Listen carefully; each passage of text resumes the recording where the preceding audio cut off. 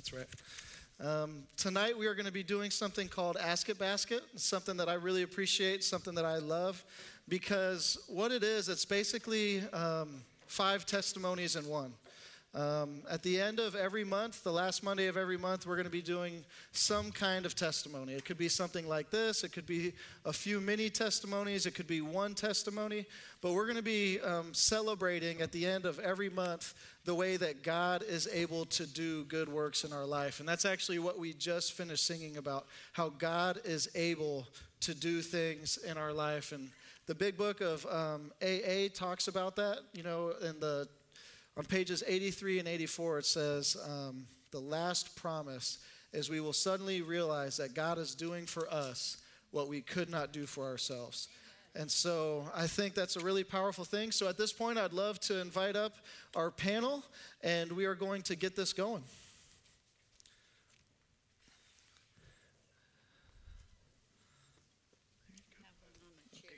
There you go. All right. Test this. I've been known to fall off of bar stools.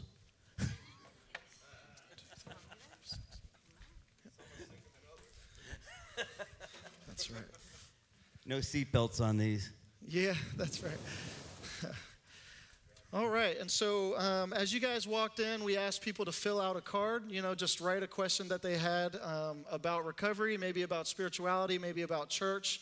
And we're going to hear from our uh, panel. But before we do that, I'd like everybody to go. I'm going to start with the far end there and to um, introduce yourself. Let us know um, how many years you have in recovery, and then we'll just come down this way and then we'll begin. Uh, my name is Larry Moore, and I have 36 years by the grace of God. Nice, yes. You guys I'm don't- you guys don't Diane, have to. and I, s- I celebrate 29 years of continuous sobriety. I'm Christine, and I work a program for codependency, and I have 19 years this month. Yeah. Hi, I'm Linda, and I work a program for uh, alcohol and drug addiction and for codependency. and I um, have 20, 26 years this month. Yeah. Yeah. My name's Bill. Is this on? Okay. Um, so alcohol, drugs, codependency, anger, uh, driving issues. Um, 26 years and one day on Sunday, last Sunday. Keep coming back. So so, by the end of the night, they may be sitting on opposite sides of the stage. Addicted to shiny metal objects. At least I know we're going to separate rooms. All Amen. right. I mean, here. And yes, we are in CR, and we got a spot for everybody here. It's all good. Um, my name is Kurtis. I'm an addict and alcoholic, and hey, and I'll be celebrating um, eight years this summer. Really excited about that. All right, so for our first question,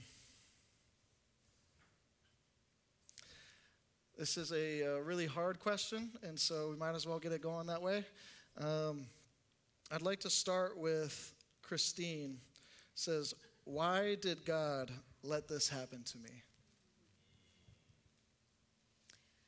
So I don't believe that God caused the things that have happened in my life, but I believe that I live in a sinful world and I've made some choices, and a lot of my choices come with natural consequences.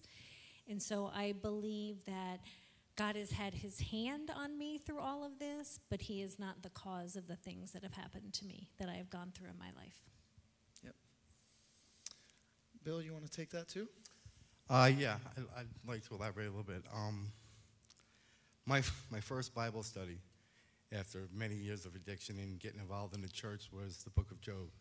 Um, and after looking what he went through and what Jesus went through, quite honestly, um, and knowing that I did that to him, it's not really a question of why did it happen to me. Yeah, I think oftentimes um, in my life I felt like, um, you know, where this is what God wanted for me in my life. Um, you know, that I was only supposed to be a criminal and an addict. Um, but I can realize that as I was pursuing um, recovery, as I gave my life to Christ, um, that was the reality that I had started to live into. Was that I was only supposed to be a criminal and an addict. And so, as I dedicated my life to Christ, as I started pursuing recovery, I realized, just like we just said, you know, that God was doing for me things that I could not do for myself, and it was good. And then I saw my hand in a lot of the things that were happening to me that I felt like it was God's persecution. Now, that's a, a strong way to say, you know, I'm not saying that that is, um, you know, a blanket statement across the board, but oftentimes we can see the decisions that we've made um, have caused us to be in here. And that's why we say in recovery, our best thinking got us here. And so, yep, I got the truck in the ditch. The Lord helped me get it out. there it is. Can you say that one more time? Huh? Can you say that I one said, I got the truck in the ditch. The Lord helped me get it out. Yep. Thank you. Next question. What do you do if you get triggered? What do you do if you get triggered? And how do you stop spinning over it? I stop what? Spinning, like it's just playing over and over in your head. Um, Diane, could you take this? like I have experiences getting triggered. So um, I I read it in the other blue book that said um, my my serenity is contingent on my connection with my higher power. So on good days when I've um, prayed in the morning and um, my morning's going as planned, then I'm less likely to get triggered. So my triggers usually um, become a problem when I haven't prayed and I'm getting irritated and I'm I'm I'm sleep deprived or that halt. I'm hungry, I'm angry, I'm lonely, I'm tired, and it doesn't usually take much to get triggered. So, um, just recently, I had a situation at work, and I'm so busy, but I, I did what I needed to do, and I took a moment and I sent a text to my sponsor, and I just said, I've lost my gratitude. And she texted me back with words of support, and um, somebody else texted me a picture of a bird feeder with a robin eating bird seed, and it was enough to like reboot. Like it got me out of that spin cycle, and I was able to catch my breath and reconnect.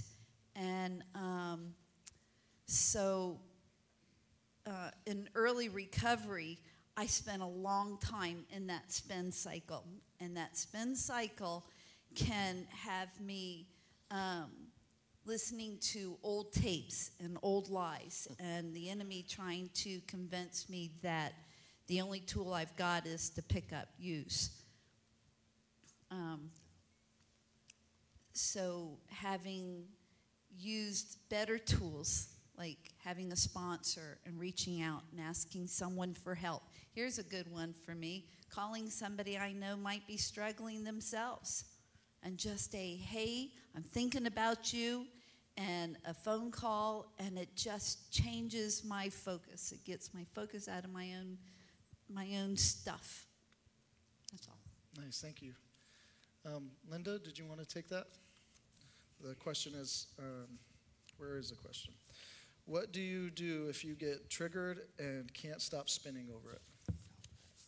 Stop spinning. So um, it's funny, Diane touched on those old tapes, and um, so I recently have uh, been looking at it different as broken soundtracks and the things that you know I I'm recognizing those things that I tell myself. So if I'm spinning, I write it down and I have to write a new soundtrack, and and so that you know it's almost like where's the truth in it? You know all those thoughts that run around my head that I that's what gets me spinning. So I have to stop and I have to find the truth, and then focus on that. That's great. Uh, real quick. Um, those trigger mechanisms usually are based off our behavioral patterns. Um, we got to change our behaviors. Um, those old soundtracks are always there, like Linda said. We just got to build on them um, and fill them with the right stuff. For me, one of the hardest soundtracks is Hi, my name's Bill. I'm an alcoholic. And that picture of what an alcoholic looks like, I know so deeply. Um, but hi, my name's Bill. I'm an alcoholic, but a son of God. I continue that soundtrack. I don't leave the song unplayed. I play who I am today. Great, thank you. Next, um, a couple people have already touched on this subject, and so I think this is a good question. Why should I get a sponsor? Um, Christine? When I read the 12 steps, none of them say I, they all say we. And that's because it's a we program, because I bought my seat in this room by myself, because my stinking thinking is my stinking thinking. And so for me, it's super important to have other people who can speak into my life. And I've done step studies, I've gone to groups, but my biggest growth has come sitting across the table from my sponsor, the one person that what I consider is I can get naked in front of and I can tell her everything and she can see every part of me and she still loves me and she's got nothing to gain from speaking hard truths to me. And so for me, when I hear those hard truths, a lot of times I hate them and in the moment, I just want to get up and leave the table, but I know she has nothing to gain and that her heart is for me and not against me. And normally, my heart is against me. So, having someone who's Team Christine is super important. Nice, thank you. Can I add to that? So I recently was talking with somebody about this too, and I spent, you know, the majority of my time figuring out how to manipulate everybody around me and then including myself. And I couldn't even recognize when I was manipulating myself. That's how cunning, baffling, and powerful the disease is. So I need another person to intervene in that, that circle of madness. Nice. Larry? My best thinking got me drunk. and, uh, you know, if, um, if I want to learn how to do something, I'm going to go on YouTube or I'm going to go find out from somebody else how to do it. And if I want to get sober, I got to find out how to do it. Because my best thinking ain't going to get me there, right? I tried that before and it didn't work, by the way. Um, but uh, why walk when you can take the bus? And, uh, you know, it's, um, it's another thing. Um, we talk about humility. And that little bit of humility to say, I can't do this by myself. And, uh, you know, I, uh, somebody else has done this. Uh, how'd you do it, man? You know, it's, it's what um, Dale says one beggar telling another beggar how to find bread. Mm-hmm. That's great. Um, Diane? Continue to elaborate. I think this is a great question, um, and I think getting uh, many different perspectives on it is going to help a lot of people. So, so my walk in recovery um, has been up and down. I've had I've had sponsors throughout. I've had different sponsors. I've had sponsors go out. Had a sponsor die early in recovery. They've had I've had a rough, um, sometimes path with, with in recovery with sponsors. And I would say those times that I was, I was, I never quit going to meetings. I never um, stopped working that first half of that first step, recognizing that I'm powerless over whatever it is that's driving me crazy. Um, but my times without a sponsor, without having somebody that I trusted, that I was exposed, exposing my deepest stuff to. Somebody who I wasn't staying completely honest with, with what was going on between my ears. Because that stuff, nobody will know what that stuff sounds like unless I put words to it. So um, those times in my recovery that I've had a sponsor where I could pick up the phone. And I had a sponsor quit on me one time, fired, fired me. She didn't quit, she fired me because I wasn't doing the work. So, hashtag do the dang work. That's Um, right. those times and i told her i wasn't going to i wasn't going to let her go she was still going to be my sponsor and she she took my call every time i called having somebody like that in my life to reach out to and to tell them what's going on um, is way better than like swimming in quicksand by myself it's nice to know there's somebody who who wants not only wants to help is willing to help and so, anyway, I, I say if you don't have a sponsor yet, get somebody's phone number who you can call and ask for help when you need it, Yep. before you need it. Yeah, thank you. Um, I think she touched on a really great point there. You know, um, what happens if um, your sponsor relapses? You know, what happens if the person that you are trusting in ends up going out? You're trusting them with st- how to show you the ropes of recovery, and then they up, end up relapsing. And I want to give you permission that you do not have to relapse with them. Um, when I first got out of, uh, when I first came back from Colorado, um, I had a sponsor. He was doing really good. He was meeting me. He was answering all my phone calls. Something changed. He started to um, not answer all my phone calls. We started to not be able to meet up all the time. And about six months after um, we decided that this relationship wasn't working out, um, he ended up relapsing. Um, I'm here to tell you that I did not have to relapse with that person. Um, that because they decided to make a decision that went against the things that I believed in doesn't mean I had to follow them. We're, we're deciding to follow somebody to do good, to have recovery. We're not deciding to follow someone to the ends of the earth and into their hell. And so um, I think that's something that I've seen a good amount of times. Um, and I don't want that to end up surprising you. Um, so, yeah, man, please. Um, yeah, it's, it's real easy to um, idolize your sponsor. I mean, because you're looking for help and you're starting a new life. Um, but it's real important to know for me that it's a new life in Christ.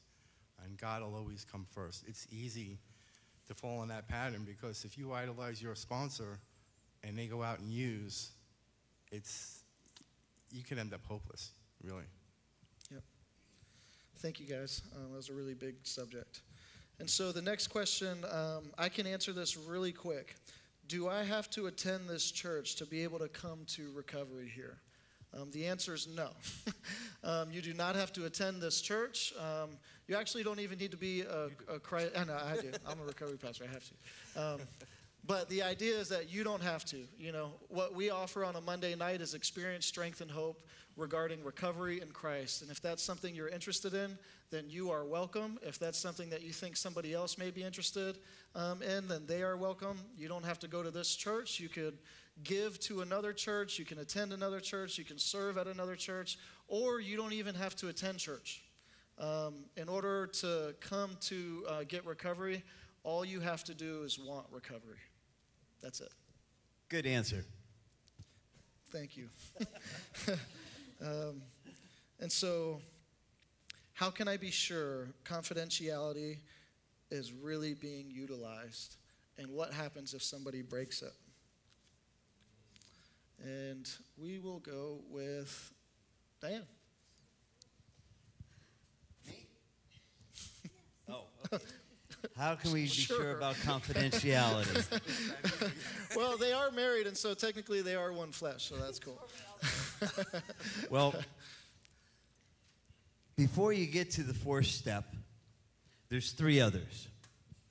And if you're working the steps with a sponsor, um, by the time you get to four, you kind of have an understanding of who you're working with and who, who, uh, you know, what kind of relationship you have with that sponsor. And um, so, um, you know, you, you, build up a trust. And I know trust doesn't come easy to a lot of us, if, especially you've been out on the streets and everything. But, you know, just little bits and pieces you start trusting and you see how it works out. Personal experience, um, my first fifth step that I did, the guy went back out drinking. Now, am I worried about it? No, because when he's out there drinking, he's selfish and self centered and worried about himself, and he doesn't care about what I said.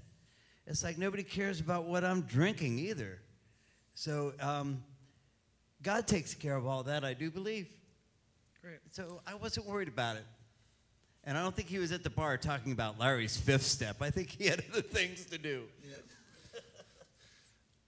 Dan, um, Confidentiality. yes, and what happens if, if um, somebody breaks it? All right, so um, so I'm I'm a um, we're married, and I joined the small groups where all the women are, and this program takes confidentiality at a high value, and so it wouldn't take much for us women because we talk and we care about each other to um, walk down the hallway and still carry on a conversation. And so, and I've seen this, I've seen us do this. Somebody in the conversation recognizes the behavior and calls us out on it. So, um, confidentiality sounds like gossip. If, if the person that we're sharing information on isn't there. So that's that's the confidentiality in the small groups. Between each one of us, one on one, um, what would happen? I mean, I just I think this program we've we've done really well. It's it's one of the top guidelines. There's only five little guidelines, and that's one of them. And the phrase is, "What you hear here stays here." That means if you're not here in this room, that anything that's said up here now is not to be shared outside of these rooms. And um, so that in the event somebody heart opens and we start sharing important things, um, I can trust that it's not going to go anywhere further from here. Yep. Here, here, that's right. Can I add one more thing? That um, the uh, confidentiality is between a sponsor and a sponsee. Um, you don't want to be sharing your innermost secrets in the big group or in the small group. Uh, it's not to be done at an AA meeting, um, especially if there's things where you could be going to jail over it. But in the confidentiality of a sponsor and a sponsee, that's where you get out those deep, dark secrets that keep us sick. Great. Um, hey, my name is Bill, and um, I struggled with, with anonymity um, for a very long time before I came to, to Jesus. Um, and I know today I'm only as sick as my secrets, and I understand about confidentiality for everybody else, but for me personally, um, I got to the point where the more I laid down at the foot of the cross to Jesus, He told me what would be okay to share. Um, and that being said, and following the steps, like I don't want to do it by hurting somebody else and publicly, but um, for me, I'm at the point now where Linda worries because she never knows what I'm going to say. um, I share it all. No, I've, I've honestly have nothing to hide because I know I'm only as sick as my secrets. And I found out that the more I share, because I'm a testimony junkie, 12, 11 Revelations is my favorite thing. Um, the less I have to hide, the more it could hurt me. I mean, I, I'm, I was so embarrassed with this stuff I did drinking. I don't see how I could possibly embarrass myself anymore up here. You know what I'm saying? So. No. Okay, so I think for me, um, for confidentiality, you know, this program doesn't work unless we work it and we work all the steps. Because trust me, I've tried to omit what I want to admit, omit, not admit, omit what things, and it didn't work. So I have to trust that, you know, I know that it, it takes 100% commitment and confidentiality as part of the program. Um, so I just have to trust that, you know, anybody who is here is working a program. And if they're not, then either one, they're not going to keep coming back, or two, I look at it as I'm not a Bible scholar, but the Bible tells us to go directly to the person if we have an issue. And then if that doesn't work, you go to the others in, in the community. So I would imagine that's how I would handle it. Yes, thank you so much for that. Um, you know, it was um, spoken, I forget who exactly said it, but it was very similar. Um, the idea is that if somebody is breaking your anonymity or your confidentiality, which um, doesn't happen often, and I think that's the gist that we got here, is that we can trust the people inside here um, are going to uphold confidentiality and anonymity. However, if somebody does, I think approaching that person and letting them know about their behavior, because, you know, we come into these rooms with a lot of bad habits, right? We come into these rooms and it's easy for us to be able to start engaging with those habits, even though we could be staying sober and we may be at a different part of our um, recovery. So if somebody goes up to that person and just lets them know that this is actually what they're doing, I would imagine that they're going to stop. If it doesn't, then it would be seeking um, a team leader such as myself or any of these people, and we can approach them together and just talk to them and figure out what exactly is happening. But we always will keep anonymity and confidentiality to the utmost importance here. And so we have time for a couple more. Um, when does the pain stop? When does the pain stop? Christine. So the pain lessens, but for me, life happens and life brings hurt. So I can say without a shadow of a doubt, there will always be times in my life where there's pain, but I have tools to help me get out of that pain. And I think prior to recovery, my pain would last for weeks and months, long days, long nights. I'd go camping with it, you know. Now, I don't like to camp, so I may go to a hotel for a night, but I ain't camping with it anymore.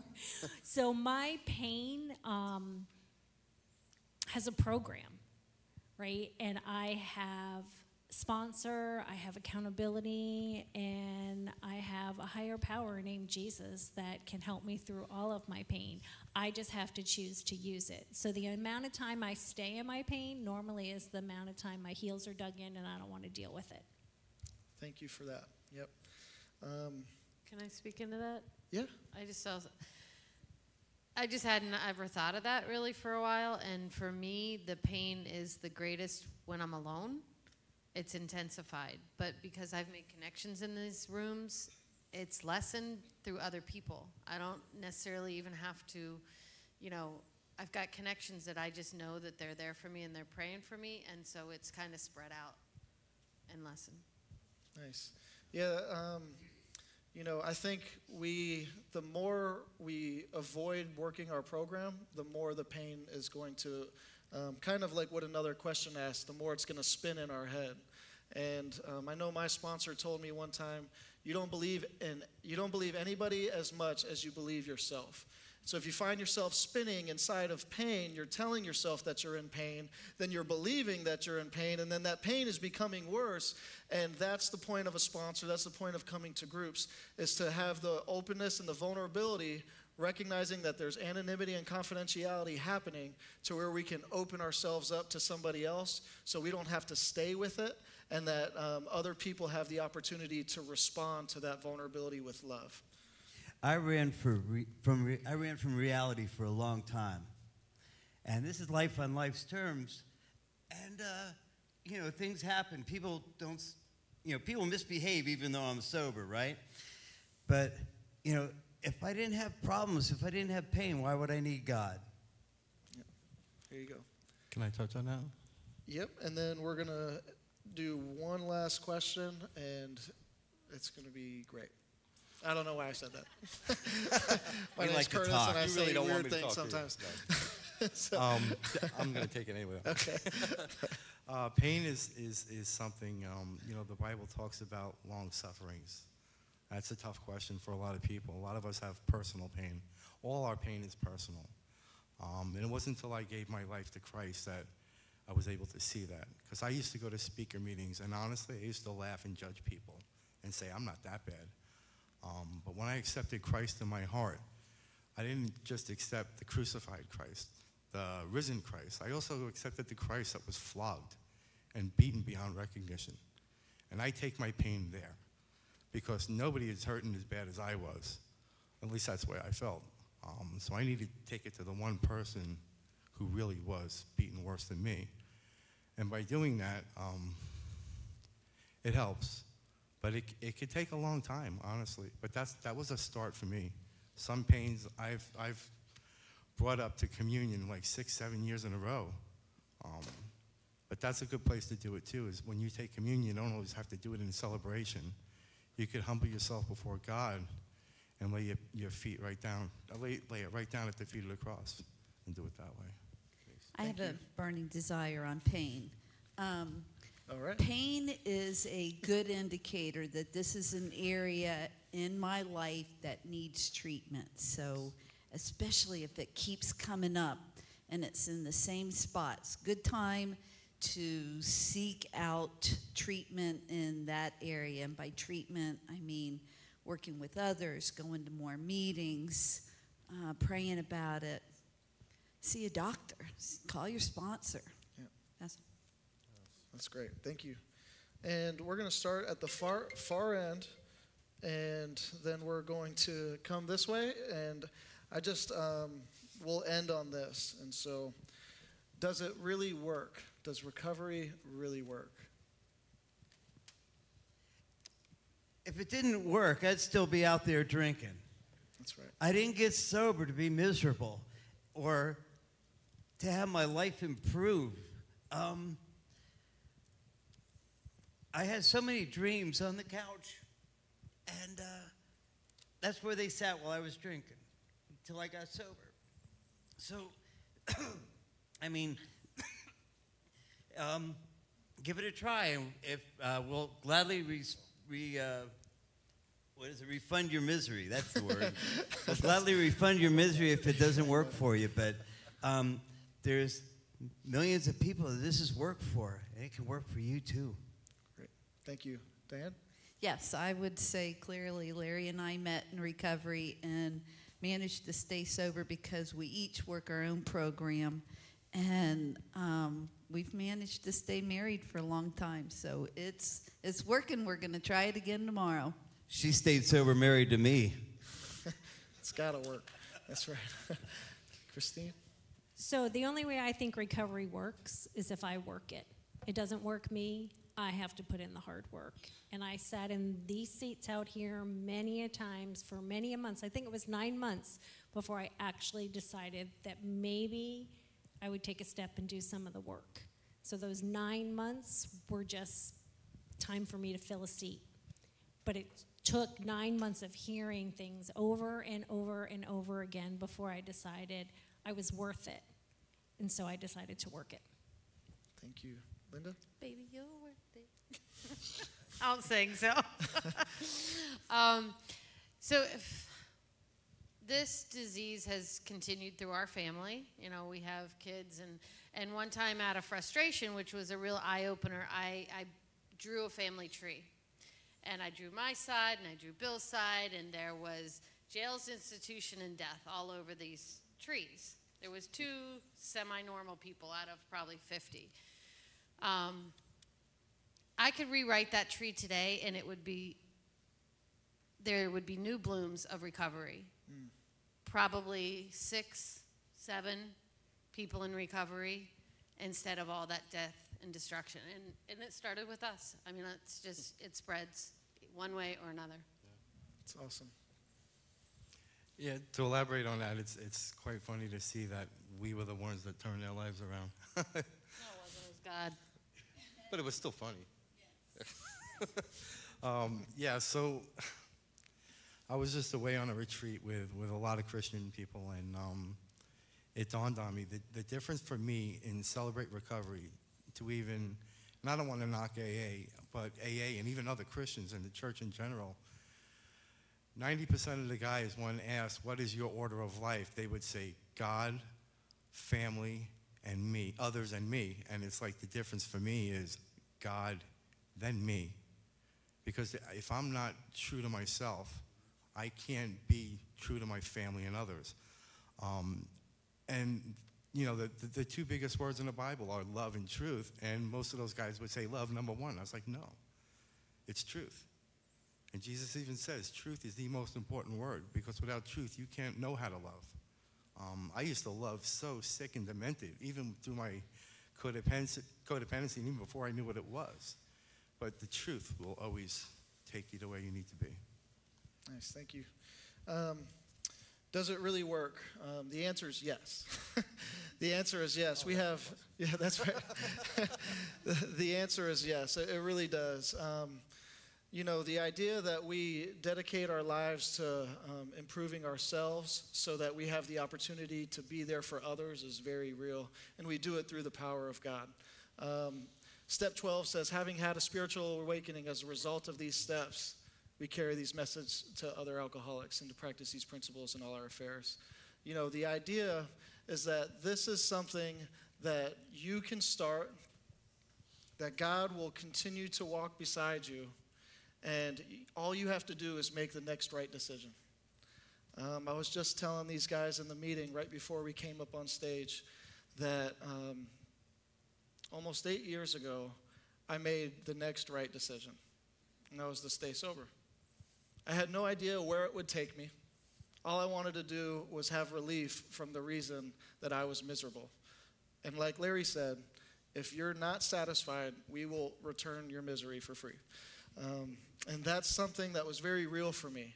I just had to make the next right decision, and I get to experience freedom from my pain and from my addictions. I get to experience peace on a daily basis, something that I pursued from the moment I woke up to the time I got my next hit or my next drink.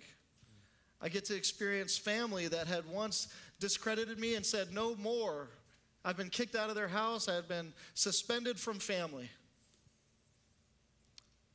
Eight years, almost eight years ago, I made one decision to pursue recovery and to make the next right decision. And it works. And as Christine said, it works when you work it.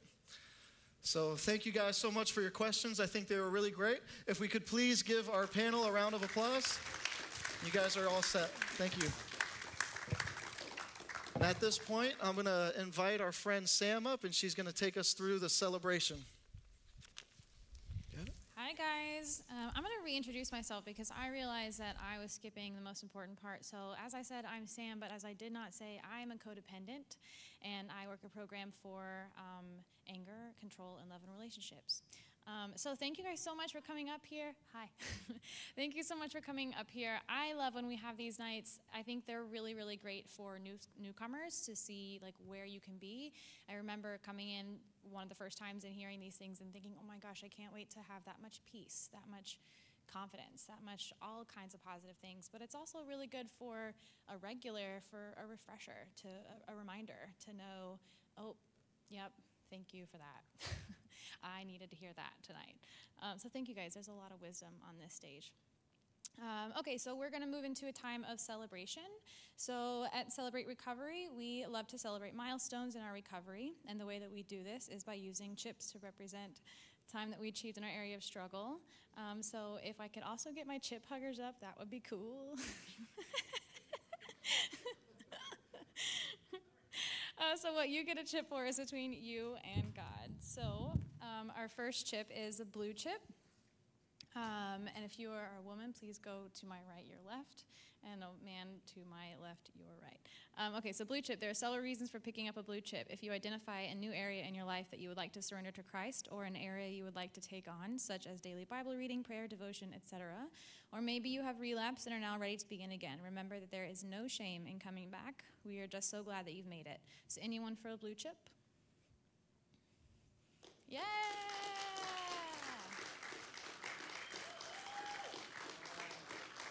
Good job, guys.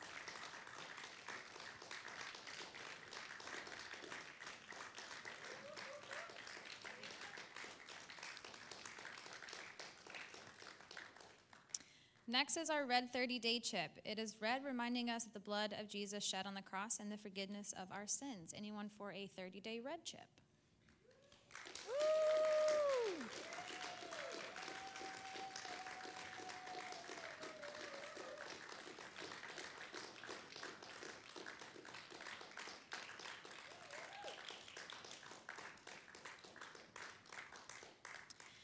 Next is our green 60 day chip. By this time in our recovery, we start to grow in our relationship with Christ. Anyone for a green 60 day chip? Okay, keep coming back. White 90 day chip reminds us of the purity we find in Christ. It's a reminder that we have no reason to feel shame or guilt. Anyone for a white 90 day chip? Keep coming back. Yellow six month chip stands for the friendship and fellowship we find at Celebrate Recovery and this church family. Yellow six month chip, anybody? Keep coming back. Black nine month chip represents the fact that we no longer are living in sin and darkness. Anyone for a black nine month chip? Yeah!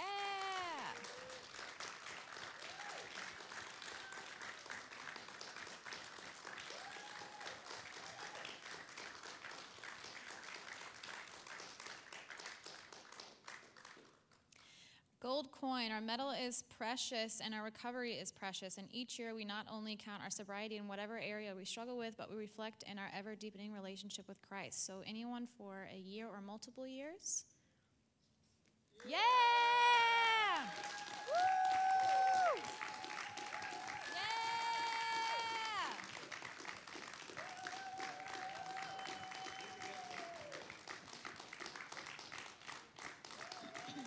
Woo!